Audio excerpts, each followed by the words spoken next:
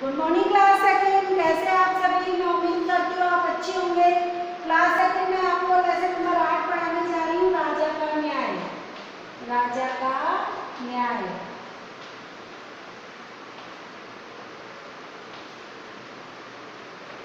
पहले हम इसमें शब्दार्थ कर लेते हैं। पहला है विशाल। विशाल का मतलब क्या विशाल का मतलब क्या होता है बेटा? बड़ा। दूसरा है कीम, कीमत। कीमत का मतलब क्या होता है? मूल्य। कीमत का मतलब क्या होता है? मूल्य।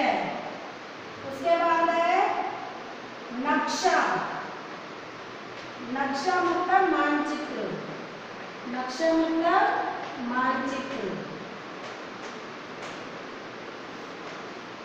सेकंड है महामहिम। महामहिम। महामहिम यानी महाराज। महामहिम यानी महाराज। उसके बाद है प्रशंसा। प्रशंसा मतलब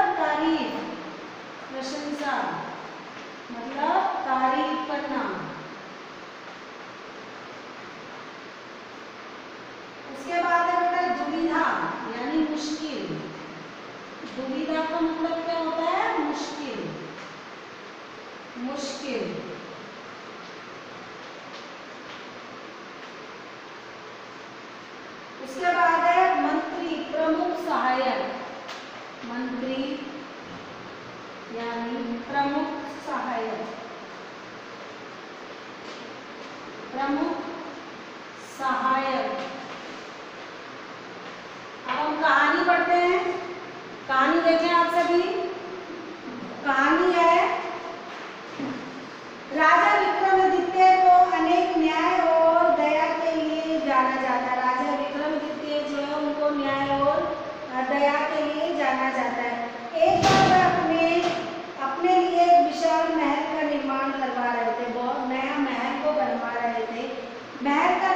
तैयार था। मानचित्र यानी नक्शा तैयार तैयार करवाया जा चुका था। नक्शा देखकर राजा के मन को खिन्न हो गया क्योंकि महल के एक और छोटी सी झोपड़ी थी। महल का नक्शा बना, लेकिन महल के पास में क्या थी? छोटी सी झोपड़ी थी, जो महल की सुंदरता को खराब करेगी महल बहुत सुंदर बना रहे थे, राजा। बनवाना चाहते थे, उसका नक्शा उन्होंने देखा। तो उनका मन क्या खिन्न हो गया। वो सोचने लगे झोपड़ी से तो मेरा महल की सुंदरता खराब हो रही है।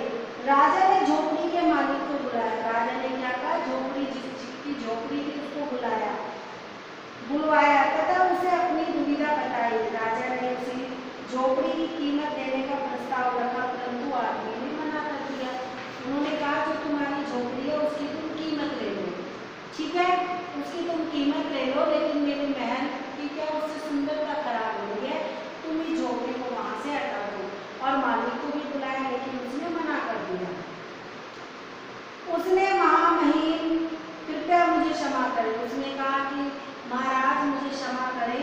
मैं अपनी झोपड़ी को अपने प्राणों से भी अधिक प्यार करता हूँ। मेरा घर है, उसमें मेरा परिवार रहता है। मैं सालों से अपने परिवार के साथ झोपड़ी में रह रहा हूँ।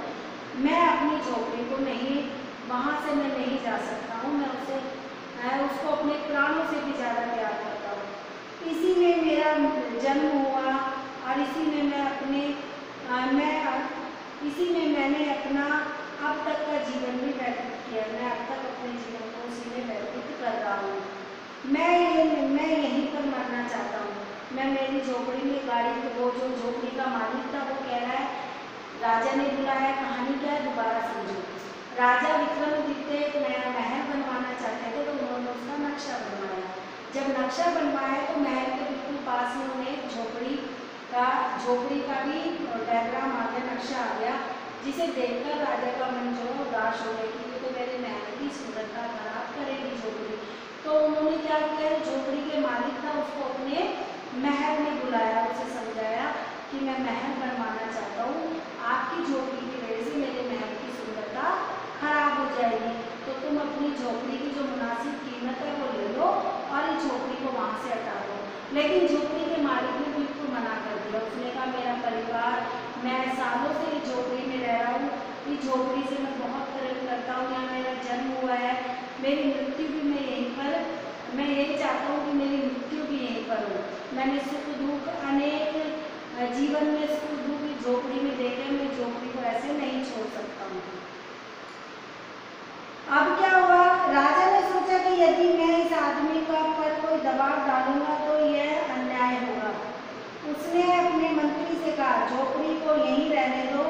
सब लोग, जब लोग ये विशाल महल देखेंगे तो वह मेरे महल की सुंदरता की प्रशंसा करेंगे। और जब वह झोपड़ी को देखेंगे तो वह मेरे न्याय की प्रशंसा करेंगे। राजा ने वो किसान पर वो जो झोपड़ी का मालिक था, उसको दबाव नहीं डाला। उन्होंने क्या सोचा कि मेरा महल जो है बनने दो? झोपड़ी हम वहाँ से नहीं हटाएँगे। क्योंकि अगर मैंने झोपड़ी हटाई तो उसका परिवार क्या हो जाएगा? बेघर हो जाएगा। और फिर अगर भविष्य में मेरा यहाँ पे महल बनता है तो जो लोग मेरे महल देखेंगे वो झोपड़ी को भी देखेंगे तो वो मेरे न्याय से प्रसन्न होंगे कि राजा ने अपने स्वार्थ के लिए किसी गरीब के घर को, किसी गरीब को बेघर नहीं किया। तो राजा ने बहुत अच्छा निर्णय लिया बेटा, जिससे कि राजा को भी कोई नुकसान नहीं हुआ। और उस जो झोपड़ी के मालिक थे, उसे भी कोई नुकसान नहीं हुआ। एक बार आप इसके शब्द का जो फ़ोटो खींच लो, देख लो। मैं पढ़ा देती हूँ। विशाल बड़ा कीमती मूल्य, नक्शा, मानचित्र। और महामहिम महाराज, प्रशंसा तारीफ़ दुविधा, मुश्किल। मंत्री, प्रमुख, सहायक। लेसन बहुत अच्छा था। लेसन आप घर पे भी रीडिंग करें थैंक यू